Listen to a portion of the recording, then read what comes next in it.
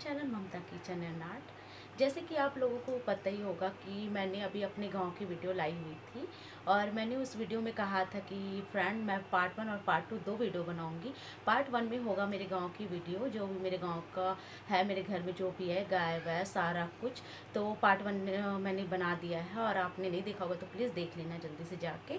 और आज मैं ला रही हूँ पार्ट टू जिसमें होगा मेरा पक्का घर। मैंने उस वीडियो में कहा था फ्रेंड कि पार्ट वन में मेरा कच्चा घर होगा और पार्ट टू में मेरा पक्का घर होगा तो वही मैं आज आप लोग के साथ शेयर करने वाली हूँ पार्ट टू तो बस मैं आप लोग को अपना घर दिखाने वाली हूँ। अगर आपको पसंद आती है मेरी आज की वीडियो, आज का ये ब्लॉग तो please like subscribe and comment करना बिल्कुल भी ना भूलिएगा और शेयर ज़रूर कीजिएगा अपने फ्रेंड के साथ फैमिली के साथ। तो चलिए वीडियो स्टार्ट करते हैं और आज मैं आपको अपना घर दिखाने वाली हूँ। तो चलिए वीडियो स्टार्ट करते हैं फ्रेंड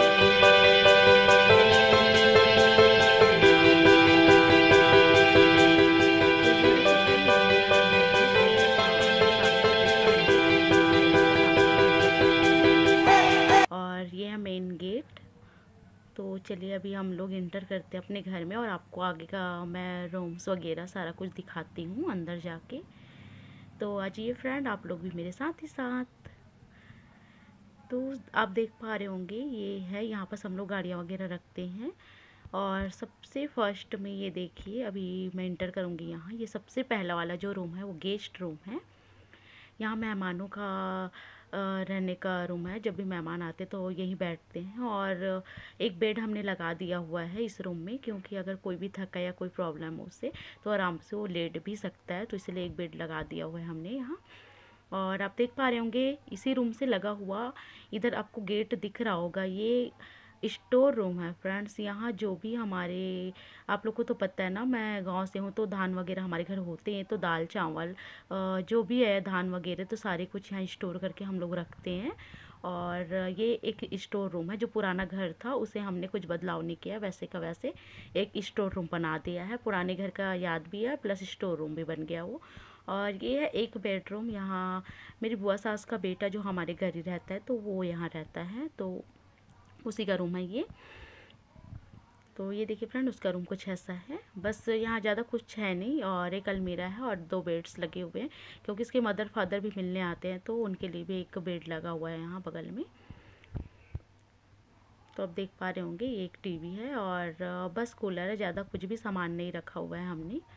और इतना ही है और इधर आ जाइए अभी। ये देखिए रूम कुछ ऐसा दिखता है यहाँ से।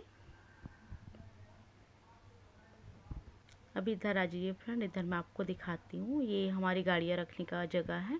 गाड़ी यहाँ पूरे जितने भी गाड़ी हैं, हमारे घर सारी गाड़ी यहीं स्टोर होते हैं। अभी ड्यूटी गए हुए हैं तो बाकी की गाड़ियाँ हैं नहीं। और इधर आप देख पाएँगे, इधर हॉल है। हॉल में फ्रेंड हमने कुछ भी अभी जमाया हुआ नहीं है, क्योंकि बच्चों को खेलने के लिए पर्याप्त जगह चाहिए होती है और बच्चे बहुत शैतानी करते तो हमने यहाँ सोफा रख के देखा तो उसके बाद बच्चों को लगना चालू हो गया था। कई बार चोट भी लगी थी, इसी कारण हमने वहाँ बदलाव किया। हमने सोफ़ा वगैरह सारा कुछ इस रूम में शिफ्ट किया और वो जगह जो हॉल है, उसे हमने बिल्कुल खाली कर दिया क्योंकि मेरे बच्चे साइकिल वाइकल चलाते हैं। तो इसी कारण से इसको हमने बिल्कुल खाली रख दिया हुआ है।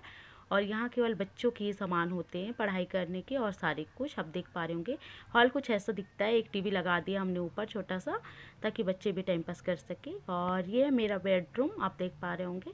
जस्ट हॉल से लगा हुआ मेरा बेडरूम है। और मेरे बेडरूम में है टू अलमीरा। एक अलमीरा में बच्चे और हस्बैंड के कपड़े होते हैं और एक अलमीरा में मेरे कपड़े होते हैं। और ये आप देखेंगे एक छोटा सा टीवी भी रखा हुआ है मैंने अपने बेडरूम में, जो मुझे अपने शादी में गिफ्ट के रूप में मिला था। तो गिफ्ट को तो ऐसे फेंका नहीं जाता फ्रेंड तो मैंने इसे यूज़ करने के लिए रखा हुआ है। और इधर मेरे हस्बैंड का कंप्यूटर रखा हुआ है। ये मेरी बेबी का पिक्स है छोटी थी तब का। और इधर आप देख पाएँगे मेरा ड्रेसिंग टेबल। और सारा कुछ आपको दिख ही रहा होगा। बस इतना ही सामान है और ज़्यादा कुछ नहीं। फिर भी बहुत भर गया हमारा रूम और बच्चों के कारण ही पूरे बच्चे के खिलौने से ही। और आप देख पा रहे होंगे मेरा बाबू किस तरह सोया हुआ है। तो ये देखिए फ्रेंड ये मेरा बेडरूम है। अभी मैं आप लोगों को दो से तीन रूम नहीं दिखा पाऊँगी क्योंकि वहाँ लोग रेस्ट कर रहे आराम कर रहे तो उस रूम में मैं नहीं जा पाऊँगी। तो फिर नहीं दिखा पाऊँगी। इधर का आप देख पा रहे होंगे, ये सारा रूम मैं आपको नहीं दिखा पाऊँगी। तो उसके लिए सॉरी और, ये देखिए, इधर विंडोज़ वगैरह हैं। जब गर्मी लगती है तो सारे विंडो हम लोग खोल देते हैं और यहाँ बाबू और, काव्य का दोनों का अलग अलग पढ़ने का वो है टेबल और कुर्सी तो दोनों अलग अलग ही पढ़ाई करते हैं। और इधर आ जाइए फ्रेंड इधर है मेरा किचन किचन को बिल्कुल हमने अलग रखा हुआ है, क्योंकि जब भी सब्ज़ी वगैरह बनाओ तो फिर स्मेल पूरा घर में भर जाता है। किचन इधर अलग से है। तो फिर ज़्यादा प्रॉब्लम नहीं होती है और यहाँ मैंने माता की अपनी फ़ोटो रखी हुई है और इधर आप, आपको तो किचन का वीडियो देखा ही होगा आप लोगों ने तो आपको पता ही होगा कहाँ क्या चीज़ रखा होता है मेरा। तो अभी मैं गाँव गई थी फ्रेंड, ज़्यादा पूरा सब कुछ फैला पड़ा है क्योंकि अभी पच्चीस दिन मैं बाहर रह के आई हूँ तो सारा कुछ फैला हुआ है और ज़्यादा कुछ ऑर्गेनाइज नहीं कर पाई हूँ।